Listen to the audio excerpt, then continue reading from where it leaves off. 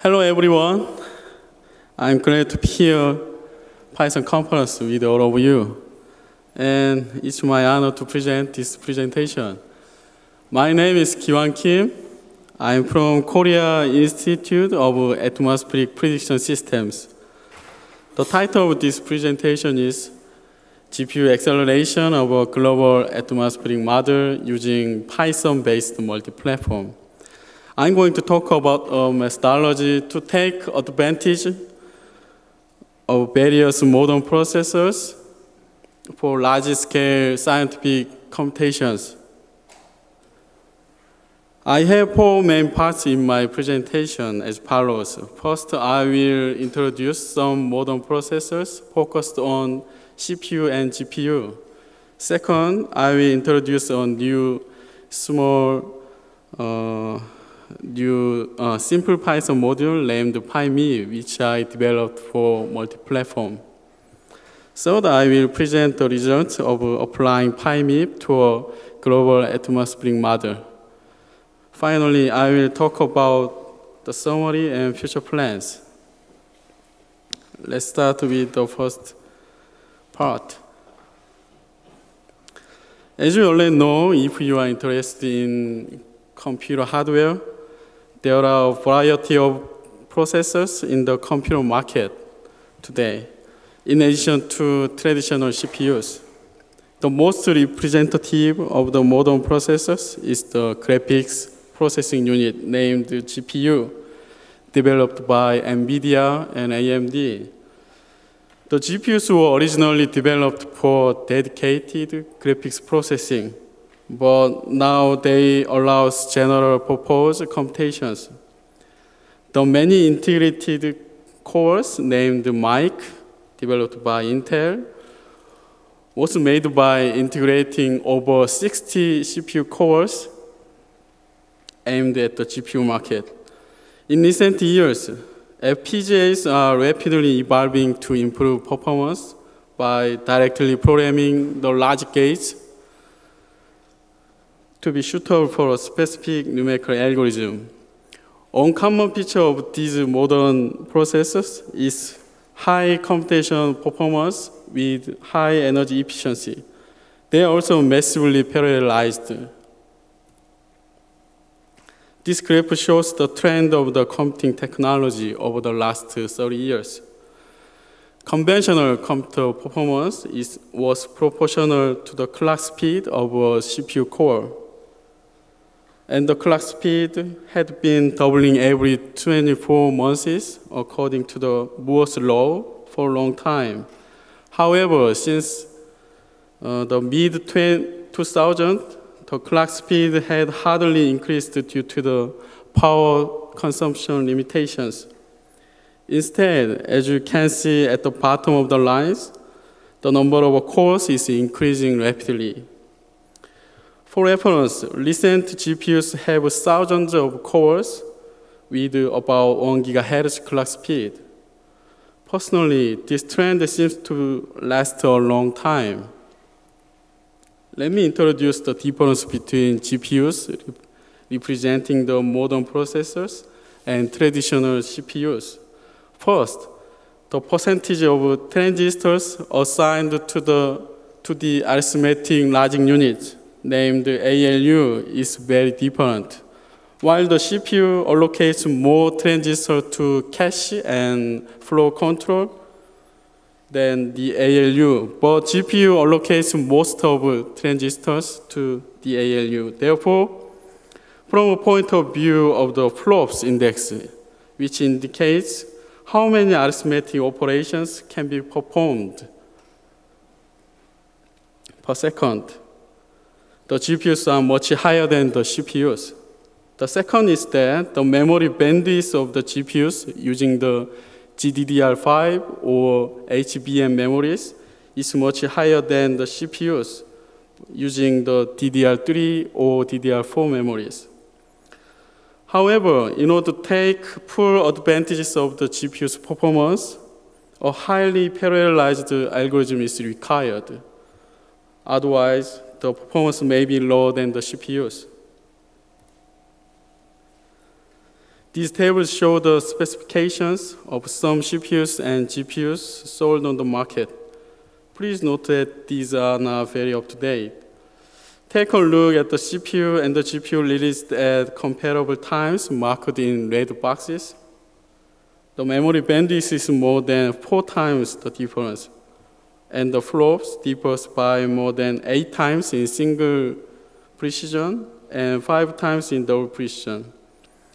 I did not make a direct comparison in the table, but I heard that the difference is greater on the most recent NVIDIA Pascal GPU.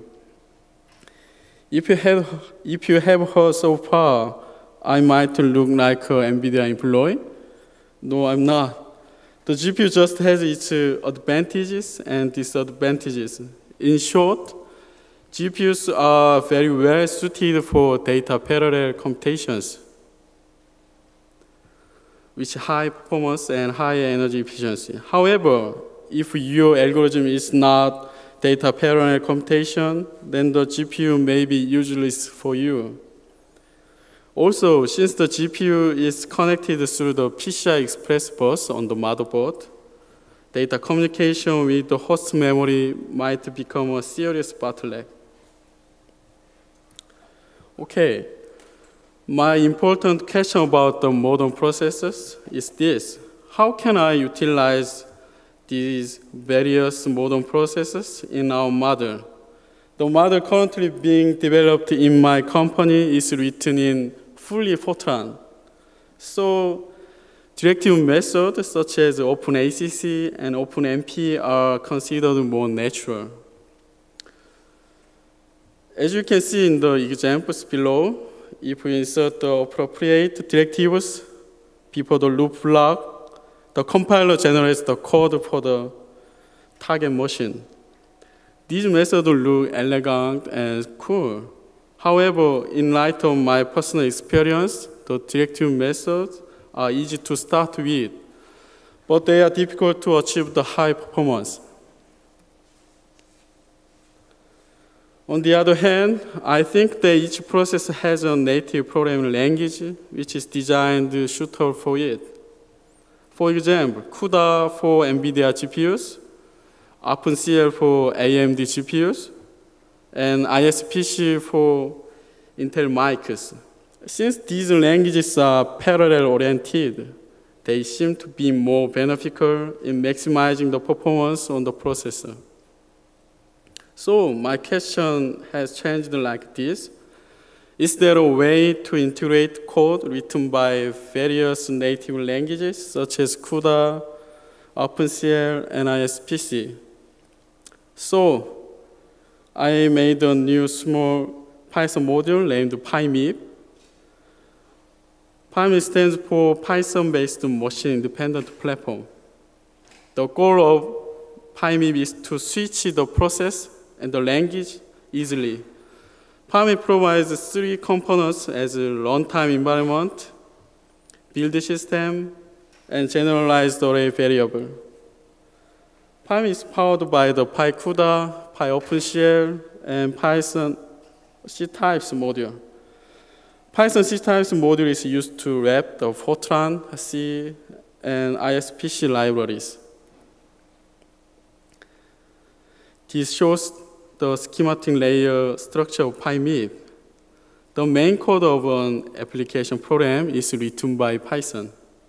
It includes the parts that have little affected to the computational performance, such as configuration, flow control, pre and post processing, and so on.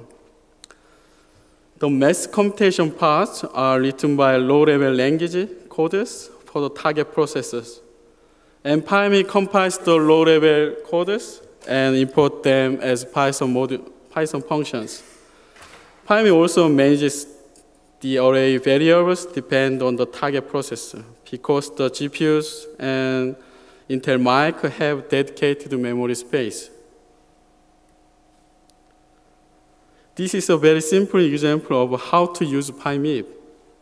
It calculates the equation g equals a times x and plus y. The x, y, and z are vectors, and a is a scalar. The code below is a simple Python version using the NumPy module. Now let's convert this code to compile languages as Fortran, C, CUDA, and OpenCL.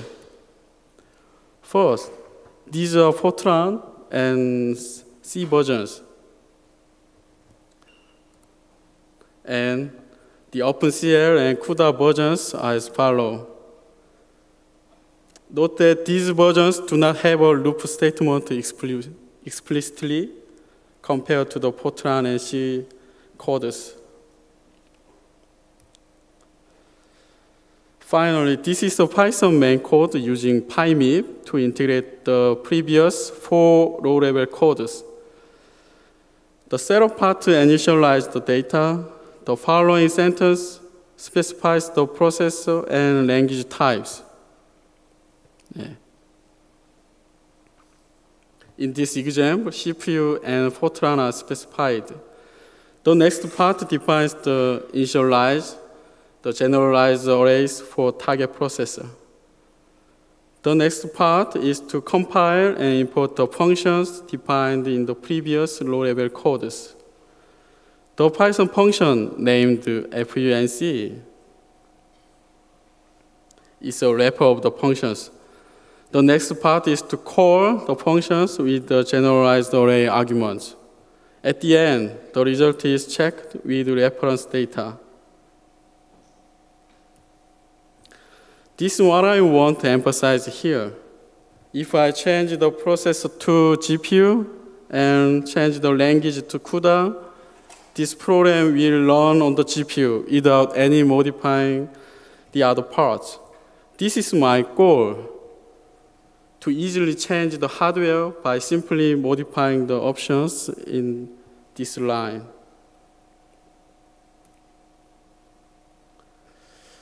A simple performance test was performed using a two-dimensional wave equation.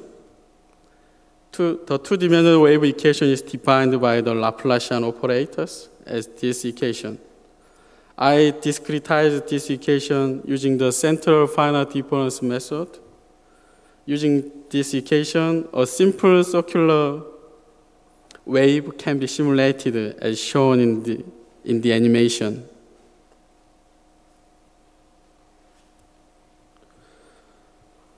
Programs of the two-dimensional wave equation were written in Fortran, C, and PyMIP-based Fortran, C, CUDA, and OpenCL, respectively.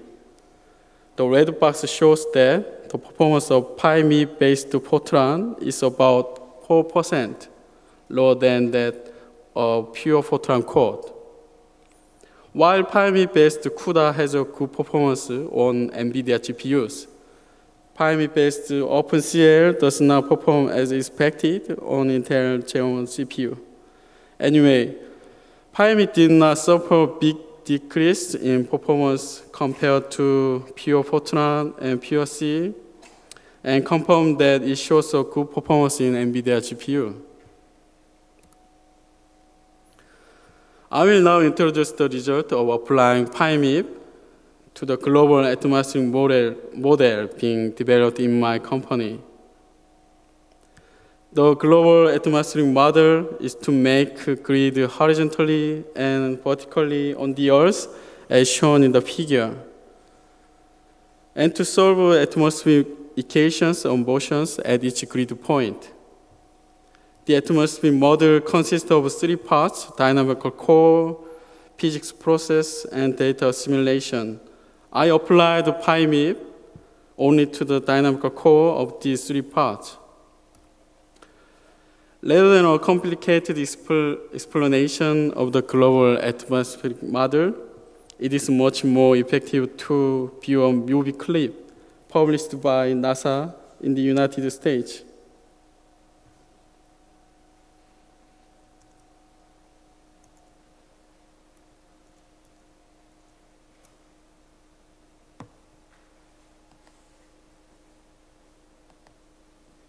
This movie shows a simulation result of GEOS-5 model developed in NASA. Oh, I'm sorry.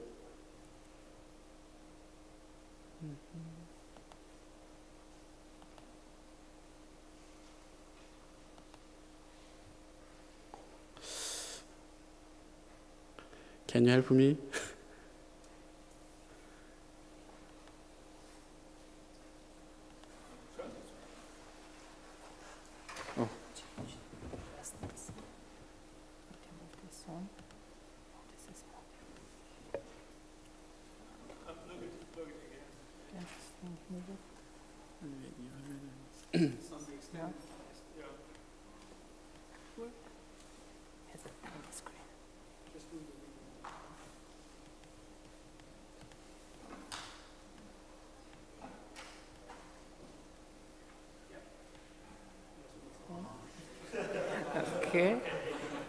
Absolutely tiny here. You can see nothing. Absolutely nothing. Is it there? Okay. I think that works.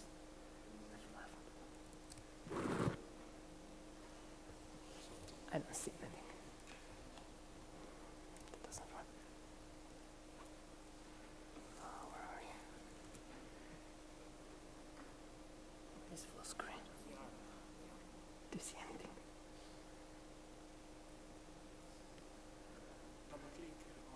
Yeah. Try- Whoa. Yeah. Okay. Thank you so much. Yeah, this movie clip shows a simulation result of GEOS-5, which is a model developed by NASA. It is interesting that clouds come and go. And there are some typhoons. Yeah, my country, Korea, is in.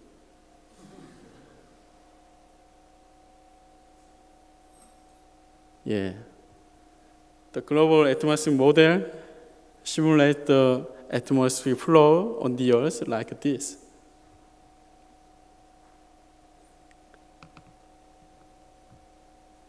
Okay. You can see this movie in the NASA homepage.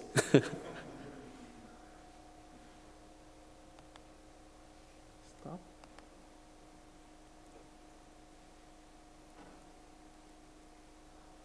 Okay.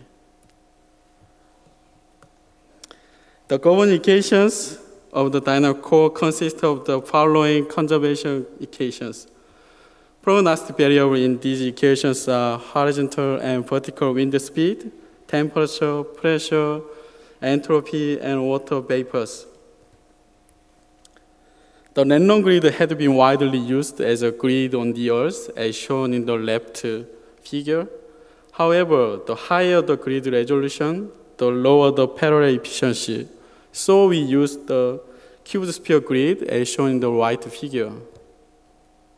The cube sphere grid consists of rectangular elements and their internal Gauss quadrature points as shown in the figure. We use the numerical method as a spectral element method for the partial derivatives and the third order Runge-Kutta method for the time derivatives. The spectral element method has excellent parallel scale scalability. I counted the code lines of the model being developed in my company. The Kim is our model name. The total number of lines is about 239,000. Hmm.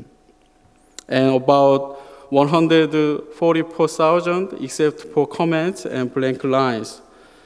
Note that the dynamical core, which cover about 60 to 70% of the model wall clock time, is about 5,600 lines, which occupies only about 4% of the total lines. I changed only this part into CUDA and OpenCL codes and integrated them using PyMIP. Many scientific computations, as well as our model, take a lot of computation time in a small portion of the code. That's why I think the methodology using PyMIP is useful for many scientific computations. There are about 45 subroutines used in the dynamical core. I converted these subroutines into CUDA and OpenCL codes. Originally written by Fortran. This diagram shows schematically the workflow of the dynamical core using PyMIP. This figure compares the wall clock time of the dynamical core using PyMIP by Intel CPU, NVIDIA GPU, and Intel MIC, respectively. The horizontal resolution of the model is about 100 kilometers.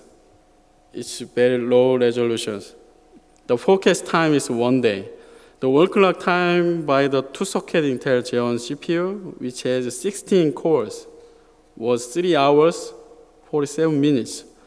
Based on this time, Running OpenCL code on the Intel MIC was about 2.9 times faster. When running CUDA code on the one on NVIDIA GPU, it was about 7.4 times faster.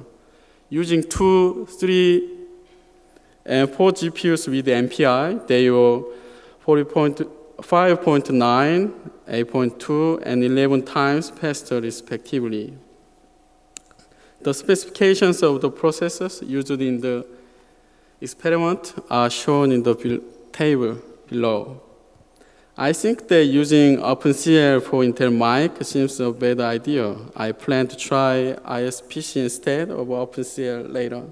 Note that I don't want to say NVIDIA GPUs are better than Intel CPUs from this experiment. I would like to show you that using PyMIP makes it easy to use various modern processors.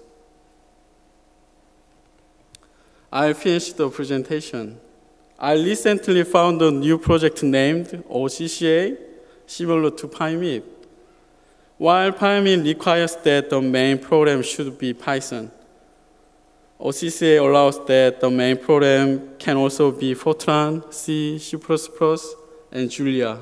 So if OCCA has more advantages than PyMIP, I might change PyMIP to OCCA. I also heard from my colleague about a new metaprogramming project named Loopy. Loopy generates optimized target codes for the modern processors from one pseudocode, which defines loop structure and dependencies. The nice thing about Loopy is that I can apply various optimizations such as loop tiling and loop unrolling without any modifying the pseudocode. If I can combine OCCA and Loopy as shown in the figure, it would be very great. Let me summarize. I propose a methodology to utilize the modern process for large-scale scientific computations I made a new Python module named PyMIP to integrate low-level codes such as CUDA and OpenCL. It was well in a big realistic problem as the global atmospheric model. I have two main future plans. One is to apply OpenACC directives to the, to the model in Fortran. My boss wants it. The other is to rewrite the model using a metaprogramming such as Loopy, and I'll check if OCCA can replace PyMIP. Yeah, thank you so much for your attention.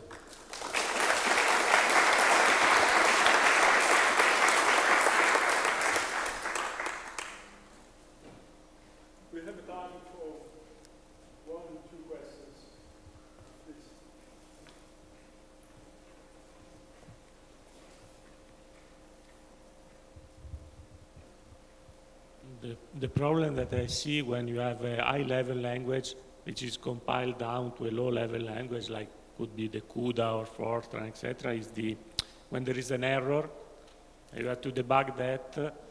Uh, how, how, how, good is the, the debugging functionality? For instance, you get the right uh, line numbers uh, where the error is. Uh, how does it work, debugging the, this system? Oh. Oh, I'm sorry, I, I don't understand your question. let me rephrase it. When there is a mistake, an error, a problem, and you need to debug the uh, produced, the generated code, how, how it- does it work? Do you have an easy relationship between the generated code, the original code? Uh, what, what tools do you use? Ah, yeah. Uh, in my presentation, I did not uh, using uh, meta programming, so I I converted the converted the Fortran code to CUDA and OpenCL and C manually. I I did not uh, using metaprogramming, but I I have plan to use that. Yeah.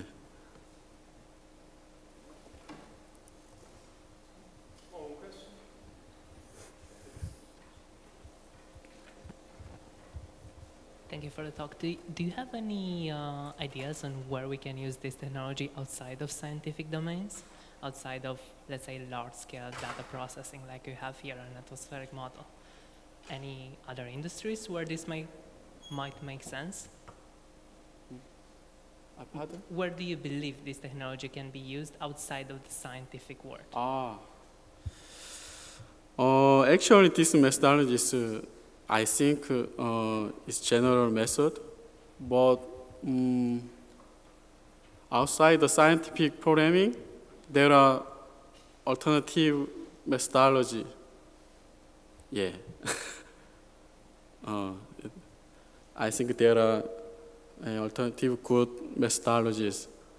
Uh, for example, I watched the Numba. Yeah, Numba is a good choice for other applications. But many scientific programs written in Fortran, that's a problem. I, we did not, uh, we cannot throw Fortran because many scientists only use Fortran. So I uh, integrate Fortran and other low-level codes. Yeah. So it's not a question, but maybe an answer to the question that you just got. Uh, on data science, uh, I, I see the best use case other than scientific um, environment in the data science industry where you crunch a lot of data, you always, or a lot of, of the use cases are based on NumPy or stuff like that. And libraries, recent libraries uh, in the deep learning industry, uh, uh, like TensorFlow or stuff like that, are very um, meaningful for this kind of, of usage. So maybe it's worth a try using your library to do data science other than in the scientific industry. Okay, thank you for your comment.